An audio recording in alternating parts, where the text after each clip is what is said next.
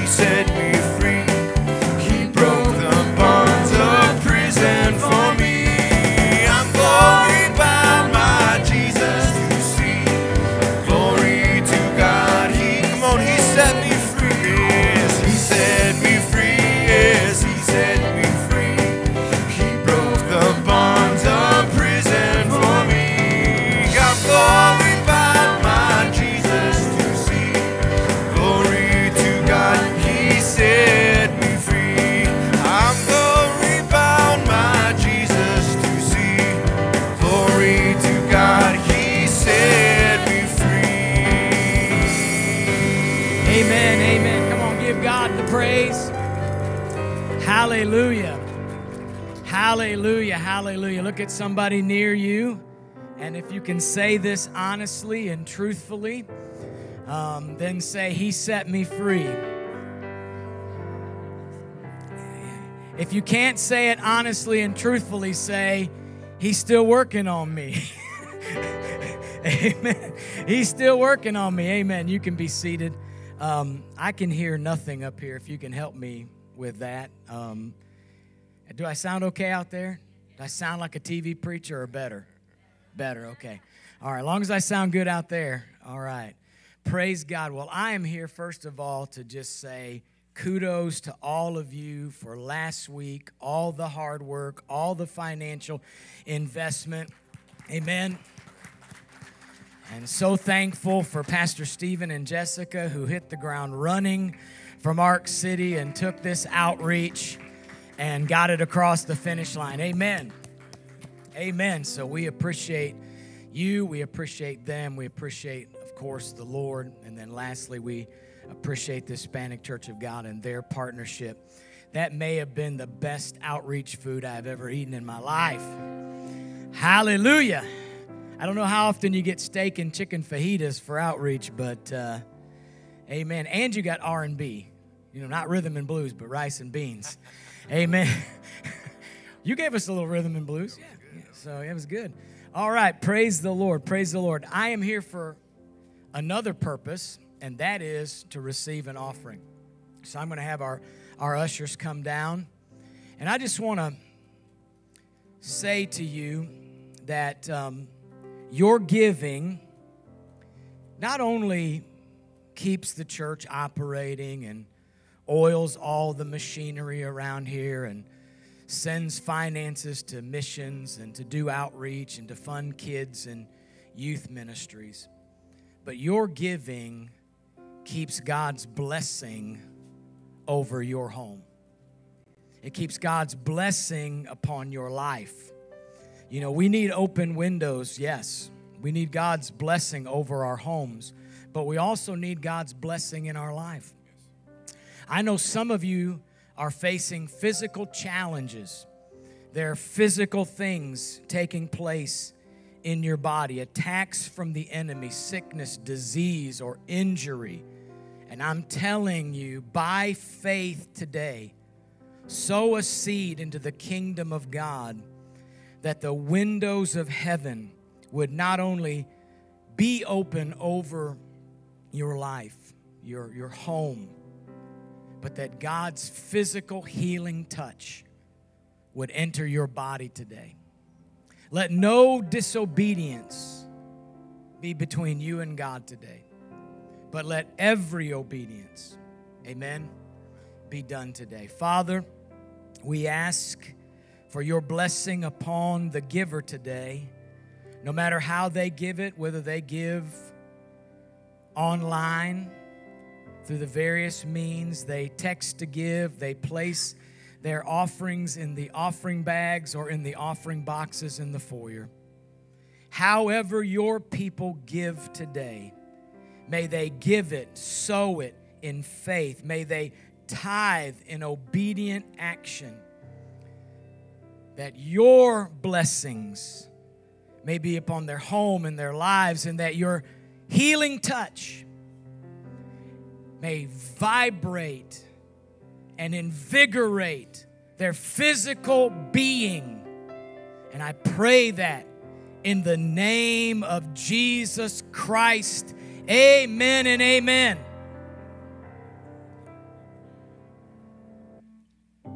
Come on and stand to your feet as you give. Let's continue to worship.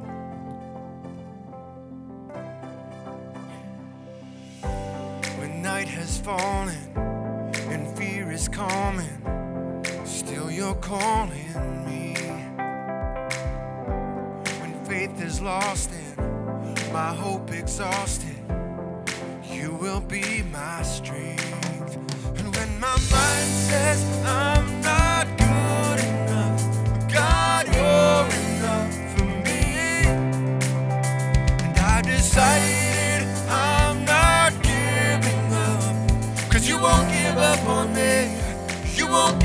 up me.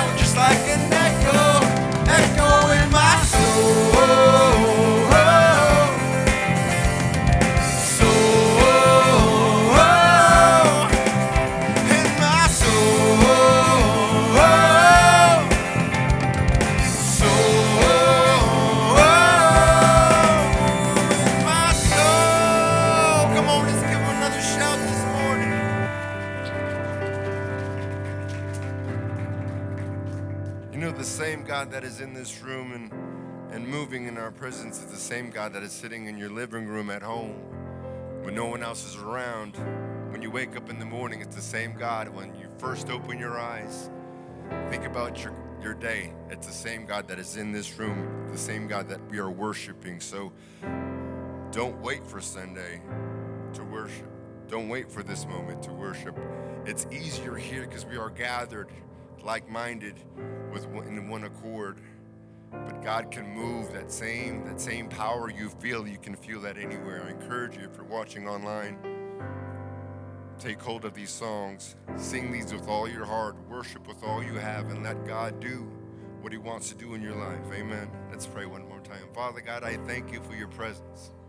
I thank you that you can move wherever you want, Father. We give you permission to move in this place and in our lives, Father God. I pray that you pour me out, empty me, Father, of myself. Fill me with your presence, Father. I pray the same thing for the people of this church, Father. Fill us up with your presence, Father. Let this be a house of worship, a house of prayer, Father God. Do what you want to do. Do what you want to do in this place, Father God. We'll give you praise. We love you in Jesus' name. Let's continue to worship.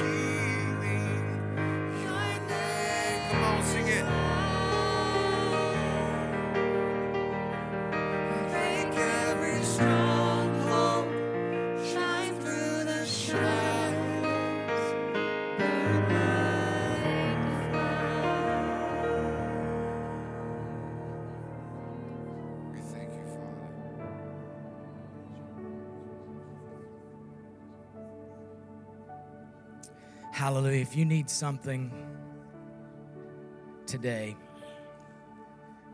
it's in the person of Jesus. If you need salvation, it's in Jesus. If you need healing, it's in Jesus. If you need a miracle, it's in Jesus. If you need anything at all, it's in Jesus.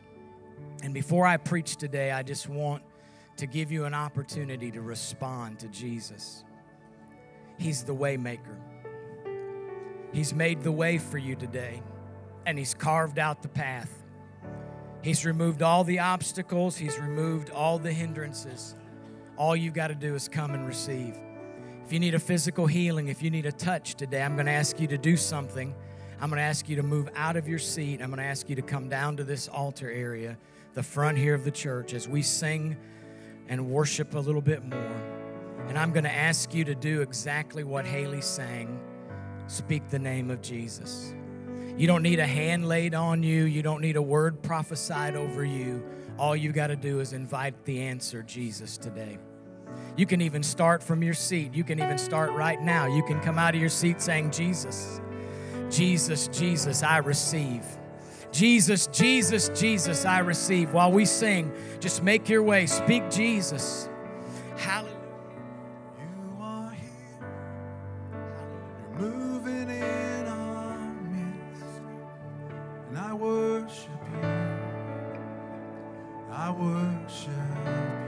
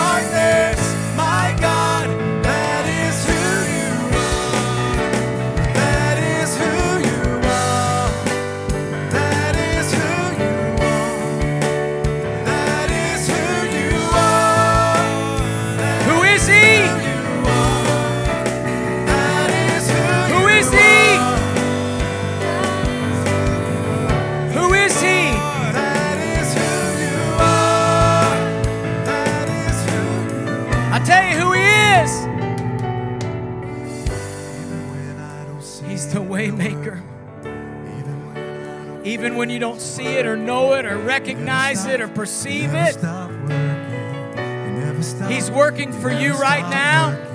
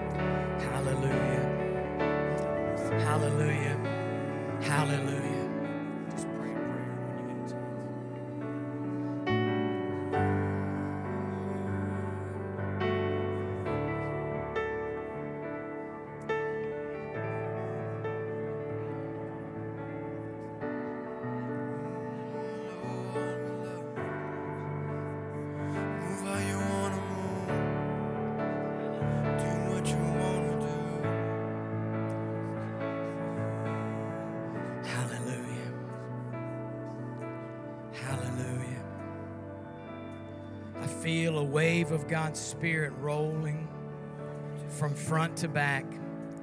And if you're back there and you haven't yet experienced a healing or a touch from God yet, it's on its way. It's just rippling its way back. Just like as the tide rolls in and the tide rolls out and the waves crash in and then they, they go back out. I've asked Pastor Ruben to pray a prayer over you right now. And if you have yet to receive, I want you to receive. Receive from this psalmist right now. Father God, I thank you you're in this room like you promised us, Lord. Every heart open, Father. Every heart ready, Father. Father, your word says you won't let us down, Father. So we're asking for a move, a special, mighty move right now. Break chains that are binding. Save lives that are lost, Lord Jesus. By your Spirit, Father God, move. Fill us with your Holy Spirit. Bless your people now, Father, who came, who came seeking you, Father. Who came seeking a move from you, Father. We are hungry. We won't be satisfied with ordinary. We're not satisfied with ordinary. So I thank you for your move, Father. Bless us now in Jesus' name. We praise you, God. Just fill this room with your prayer while they just just play. Just fill this room with your prayer. We're about to transition to the word. But just fill the atmosphere with your prayer, with your thanksgiving. God, we're thankful. We're thankful for your touch. God, we're so thankful that you've not left us alone. God, we give you thanks and praise.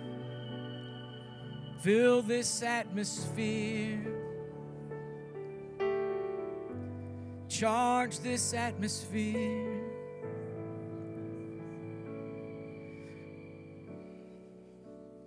With the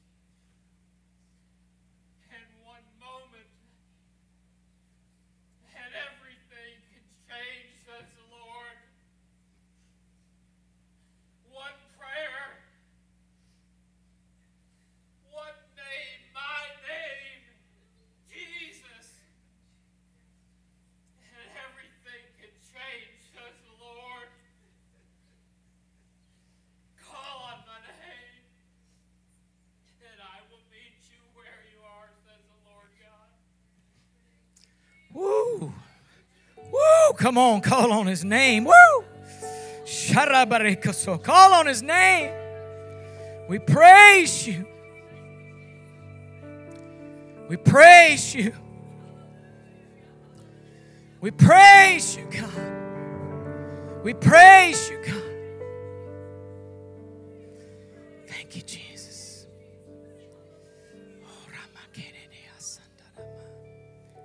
Right now, the answer to unforgiveness and bitterness is in the name of Jesus. I'm going to do this and then I'm going to preach.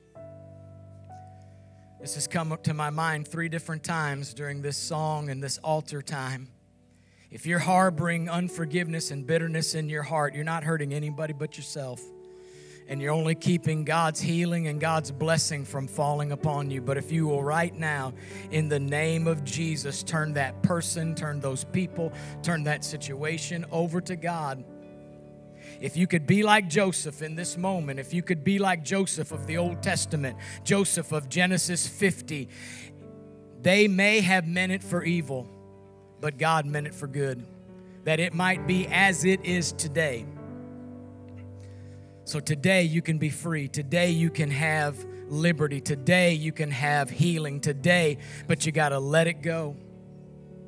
Right now, in the name of Jesus, that one name, in that one moment, in this one opportunity, you can turn it all loose and you can be free. You can walk out of here free, totally free, 100% free.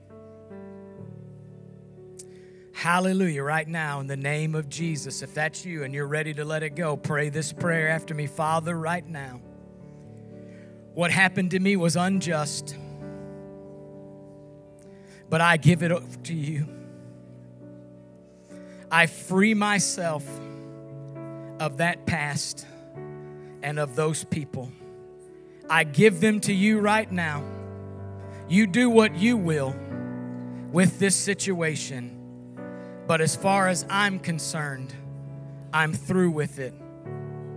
I receive your healing. I receive your forgiveness. I walk now in freedom. In Jesus' name. Amen, amen, amen. Everybody give God praise. Hallelujah. Hallelujah. Before you guys run off, just stay, just all just stay in place. You guys, the rest of you can be seated, just stay in place. And you can throw the title of the message up. I'm preaching a message on suddenly today. And I'll, I'll get into that here in a moment, what all that means and what all that represents. But today, I just kept seeing an answer of prayer on the platform. And when all of our music, for the most part, left in February of 21, it's been quite a struggle and quite a journey. And I wish God would have done something suddenly. But He did something gradually that I, I couldn't predict, I couldn't have done, I couldn't have manifested. David and Mike stayed faithful, and one by one, They haven't come in in droves. Musicians haven't haven't come in groups, but one by one God has gradually built a worship team. And I for one am thankful for the worship and the praise that was in this atmosphere, a testimony of faithfulness, a testimony of obedience. It took me talking to Reuben 3 times. Amen. And one by one, people have just, just shown up. Haley, Jerry, Josh. Kyle was an early adopter. He's a man of change. But one by one, God has done something great, and I want to acknowledge that in your presence. I want to acknowledge that in, in their presence. And God is not done. Amen. We're believing for more singers. We're believing for an acoustic guitar player. And I believe that God is going to gradually, continually, because we have a project in front of us, we have a destiny in front of us, we have a purpose in front of us. That God is going to write songs through this team, that God is going to give songs not only to this church, not only to this city, but to this nation through the team that He is building. And if you believe that, give God praise right now. Amen. You guys can go down. Thank you. Thank you for letting me say that. I'm talking about suddenly. Suddenly. From the etymology and history, the word suddenly means a dramatic interruption in human affairs. With unexpected or immediate intervention, release, provision, healings, deliverances, miracles, blessings, etc. Repeatedly in the Bible, God intervened with suddenlies. We're going to look at one of those suddenlies here today in Acts 16, two verses, 25 and 26. But at midnight, let somebody know that it was midnight. Y'all know what midnight is, right? Midnight is when one day ends and another day begins. At midnight, Paul and Silas were praying and singing hymns to God. And the prisoners were listening to them. Suddenly, there was a great earthquake, so that the foundations of the prison were shaken. And immediately, all the doors were opened, and everyone's, all in everyone, all the doors, everyone's chains were loosed. Father, would you speak through me today what you want your people to hear? In Jesus' name, amen. Set up for a suddenly. I want you to hit your neighbor and say, You've been set up for a suddenly. You've been set up for a suddenly. You got to hit them again. They're not listening. But the setup for the suddenly is obedience.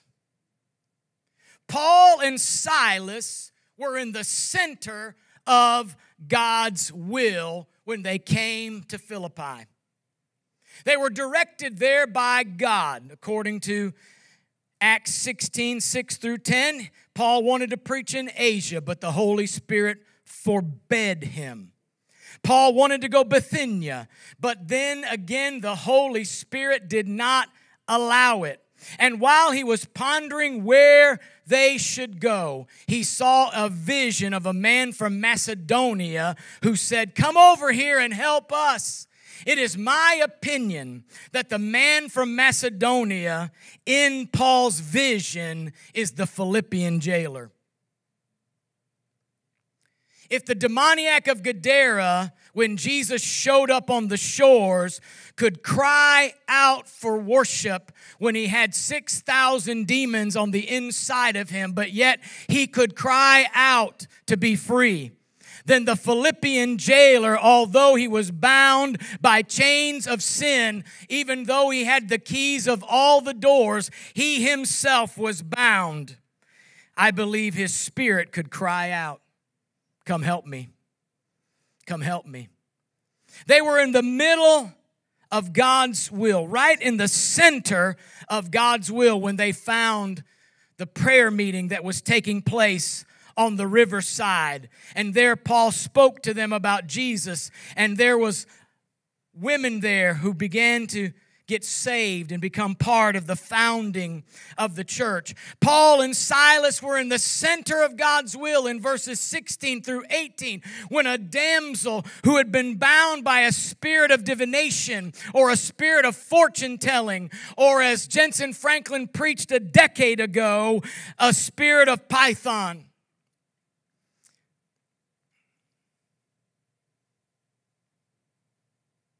And Paul cast out that demon, and that girl was set free. But not all were happy that she was free. For those who had used her to get gain, for those who had used her to tell the fortunes of others so they might get money in their pockets, found out that they had lost their ability to get wealth.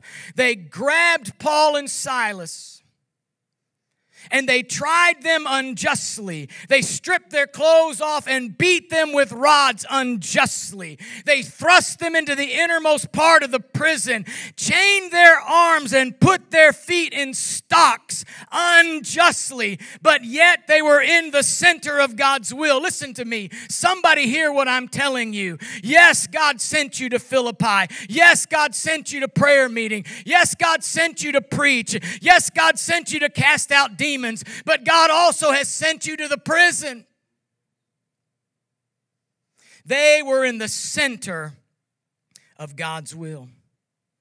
Here's my point when things don't turn out the way you planned, don't second guess God. Don't abort the process. Stay the course and stay true to who you are in Christ. Paul and Silas didn't get upset with God because where they ended up.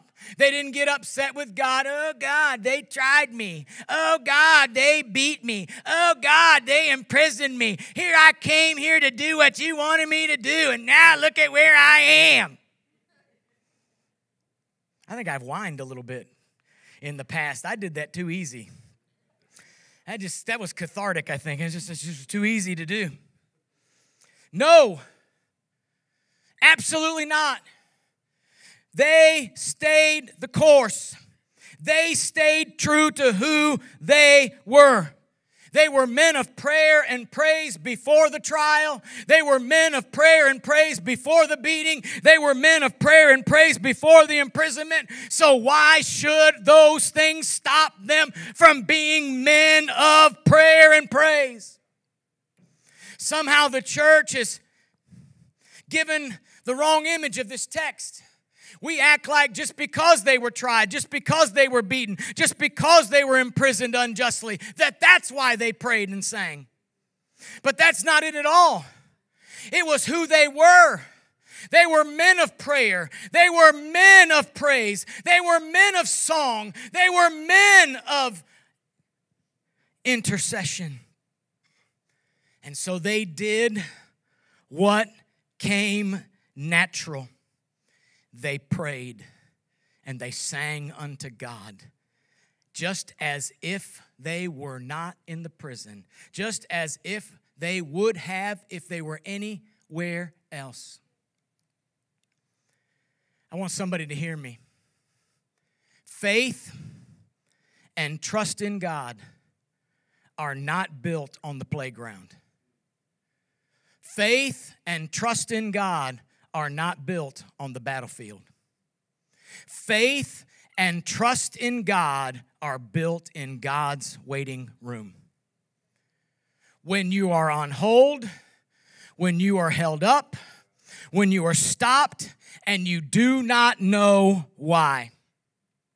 Oh, it's easy when you're out on the playground to have faith in God. It's easy to trust God when everything is going your way. Even on the battlefield, when Paul was casting out demons, it was the very presence and power of the Holy Spirit. But that's not where you and I learn how to trust God. That's not where you and I learn how to put our faith into practice. We learn it when we don't know why we're going through what we're going through. We don't know why God's got us in this room. We don't know why our hands are chained. We don't know why our feet are in stocks. I have no explanation. I thought God was going to do this. I thought God was going to do that. I thought, I thought, I thought, I thought, I thought.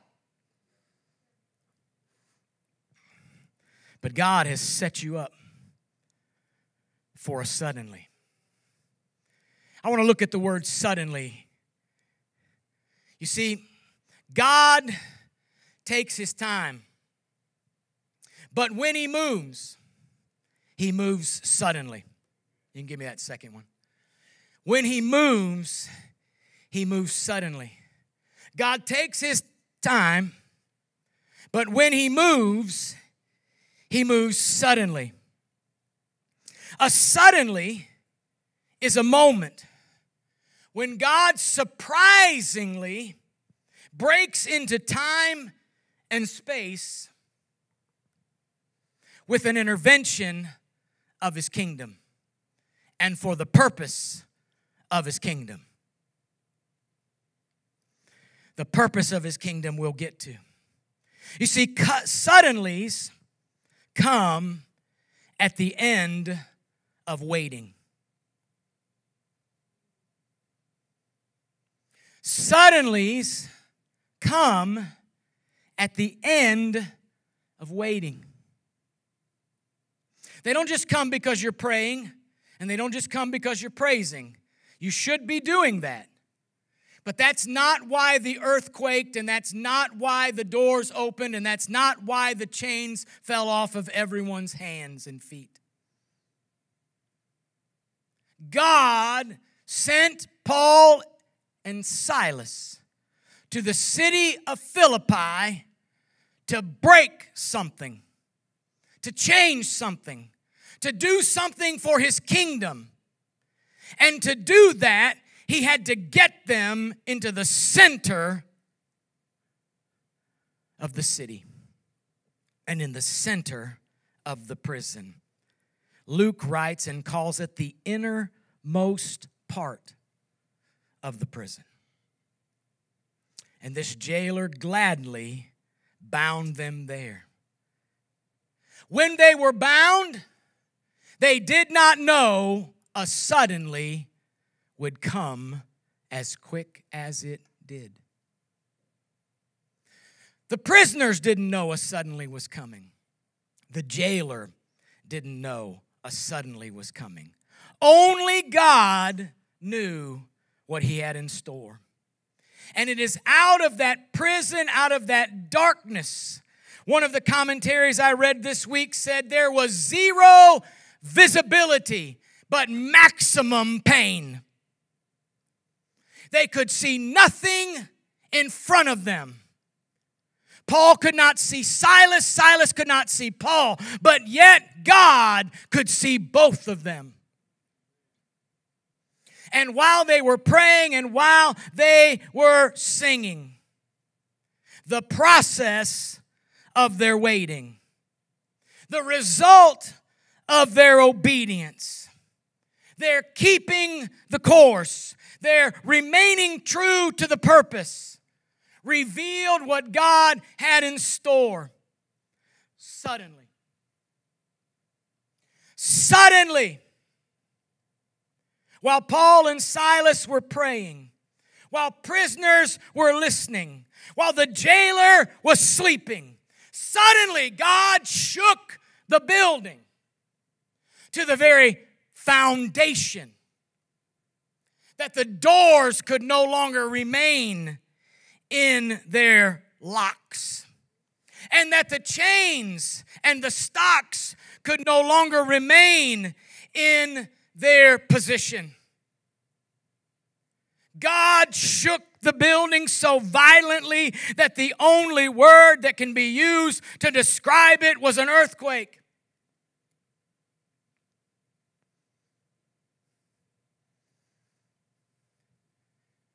But suddenly, but suddenly, something happened. And Luke uses a word to describe that happening immediately. Not only did I come to introduce you to a word suddenly, but I also come to introduce you to the word immediately. We'll get to its meaning here in a moment. But before that, listen, all A L L, all the doors opened, and everyone's chains were loosed. That includes those who were not praying and those who were not praising. Because two men stayed the course, because two men stayed true to who they were. Everyone was loosed by their faith. You see, suddenlies not only shift us, they shift others. Meaning, when you move, other people feel it. They felt the building shake. They felt it. And when you're loosed, other people get loosed. And as you go from one season into the next season, or as you move from the now situation into the next situation, others are going with you. Amen. Now to this word immediately. Suddenlies precede immediately. Suddenly precedes immediately. Meaning, on the heels of a suddenly. The word suddenly means unexpected or unexpectedly. God does something immediately, on the spot, or instantly. So let's say it like this on the heels of the unexpected, God does something immediately. Suddenly, immediately. Suddenly, the earthquake. And immediately, suddenly, immediately, maybe this is best seen in the Old Testament.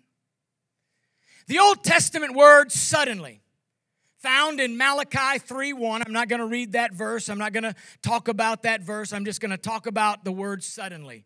In the Old Testament, the word suddenly carries both connotations. It carries both that which is done surprisingly and that which is done straight away.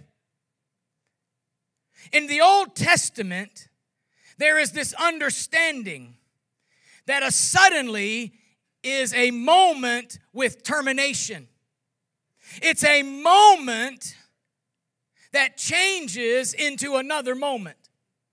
It's the moment when something stops and something new begins. And it happens surprisingly on the spot, instantly, it took place. That is the equivalent of Acts 16 25 at midnight. At midnight, it's still as dark as it was at 11:59. right? At 11:59 and 59 seconds. Right? You and I cross over into a new day. And it happens night after night after night. So Luke chooses the word midnight to explain how suddenlies precede immediatelys. Maybe I need you to get a grasp of an immediately. You see, immediately the fever left, Mark 131. Immediately the wind ceased, Mark 4:39. Immediately her issue of blood stopped, Act, I mean, excuse me, Luke 8:24. Immediately the leper was cleansed, Matthew 8 31.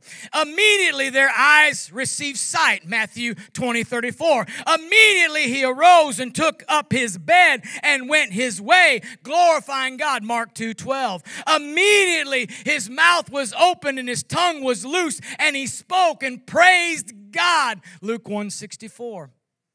Immediately. Immediately.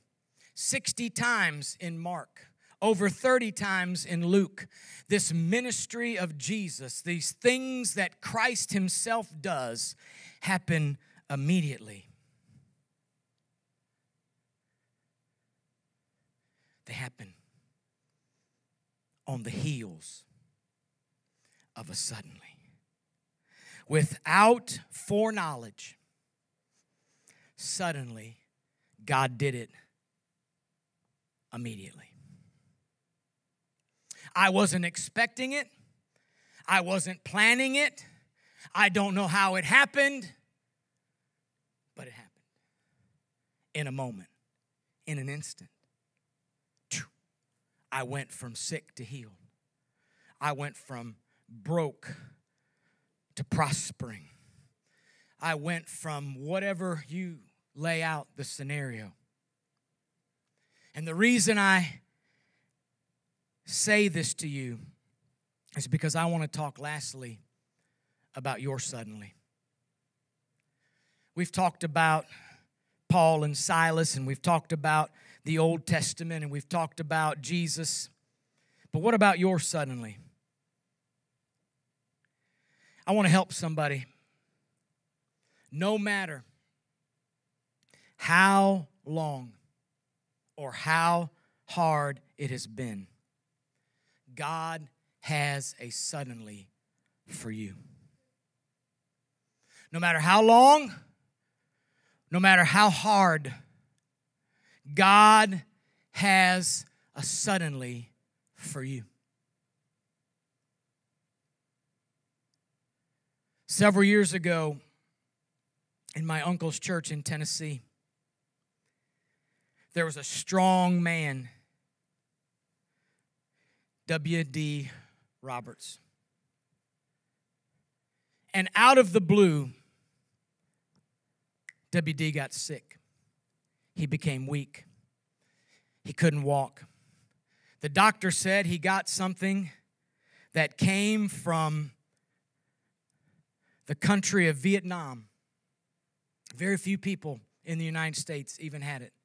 They didn't even know how to treat it. And for three years, W.D. Roberts could not walk and battled the sickness and the disease. He would refer to it many times as a Job trial. That he felt like Job. He hadn't done anything wrong. He didn't know why this had happened. He had been through hundreds of prayer lines by that time. As a matter of fact, he'd probably given up, if he would be honest, to even get prayed for. But something happened one morning, suddenly. He felt his body receive strength and he turned out of the bed and he stepped on the floor and he began to walk. And from there, that morning, day after day after day, God restored his strength. Didn't take three years, but by the end of one week, by the end of one month, I mean, bam, he was back doing everything he had done. I don't care how long or how hard it's been. I don't care how dark your prison is. God has scheduled a suddenly for you. But the only way you're going to enter into it is to not whine. You're not going to whine your way out of it. it. Is to stay the course. I know that God sent me to this church. I know that God gave me that job. I know that God give me this spouse. I know that I was doing your will when I contracted this disease. I know I was in the center of your will. I did everything you told me to do. I followed you completely, and this is where I find myself. God has a suddenly for you. My advice to you is threefold. Number one, don't forget who you are. If you are a praiser and a prayer, pray hyphen ER. Pray dash ER. A person who prays, an intercessor. If you are a praiser and a prayer prior to what you've gone through, be that now. Be that right now. Be that in this moment. In sickness, in pain, in hardship. Even if you have zero in your checking account. Be that person you were prior to the trial. Your suddenly is coming. A sudden breakthrough is on the way. A sudden shift in the season or situation is on the way. Faithfully continue to do what He told you to do, even though it hasn't turned out the way you thought it should. Keep on doing it. Suddenly will come. a suddenly will come. A shift in your situation will come. I'm confident. But I hear the question when? Pastor, when will my suddenly come? I'm glad you asked. I don't know. I just know it will. My job has not been to tell you when it's coming. My job has been to remind you that it's coming and to remind you not to forget who you are, to remind you to keep on praying and keep on praising, to remind you to be faithful and obedient to the instruction He gave you, because if you are in the center of His will, there's no safer place to be. Because if you're where you're supposed to be, then God will find you there. So I wrote it like this Expect the unexpected, believe for the unbelievable, look for what you cannot see. For God may intervene today, or He may intervene tomorrow, or He may intervene next week or next month. But I know that I know that I know that I know that I know that a suddenly is coming. If you believe that, I want you to stand. What you playing? Another in the fire. Good, like that, like that. Another in the fire, like that. I want you to pray this prayer with me. I, I wish I had given it to, to Taylor. I, I, I, so you could see it, but it's simple. It's got a few words. I'm going to read it and then we're going to do it. Father, I believe you are going to intervene suddenly in my life. Father, I believe you are going to intervene suddenly in my life. Father, I believe you are going to intervene suddenly in my life. If you believe that, let's all pray. Father, I believe. I believe you are going to intervene suddenly in my life. Suddenly in my life. Father, I believe. I believe you're going to intervene in my life. I don't know when and I don't know how. But from now till then, from now till then, from now till then, you will find me praying. You will find me praising. You will find me singing your goodness. I believe Paul and Silas were saying, Thank you, God. Thank you for your goodness. Thank you for your mercy. Thank you for your loving kindness. Thank you for saving me. Thank you for filling me with the Holy Spirit. Thank you for calling me into the ministry. Thank you, thank you, thank you that I've been counted worthy to suffer shame for your name. If that's you, as we sing a little bit of this song, you pray on your own. You pray on your own, and then we'll close. Hallelujah.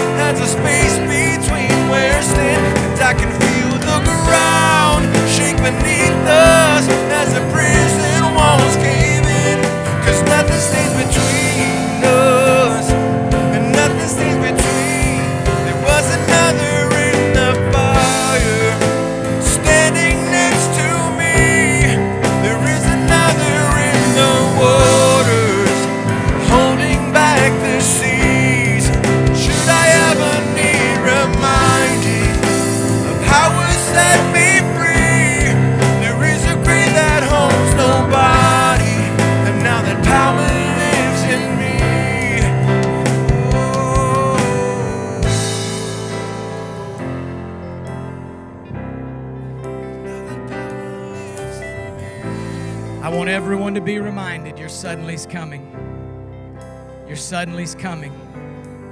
Your suddenly's coming. Hallelujah.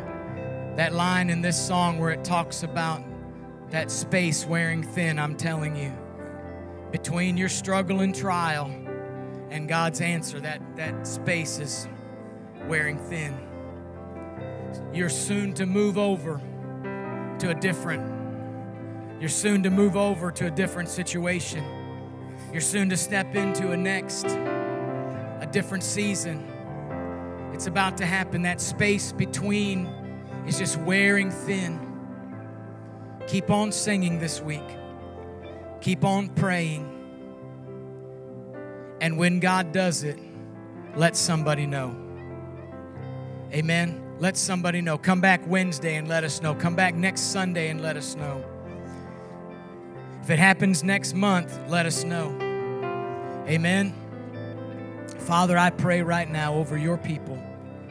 I pray your rich and abundant blessing, and I pray suddenly the blessing of suddenly, the blessing of immediately.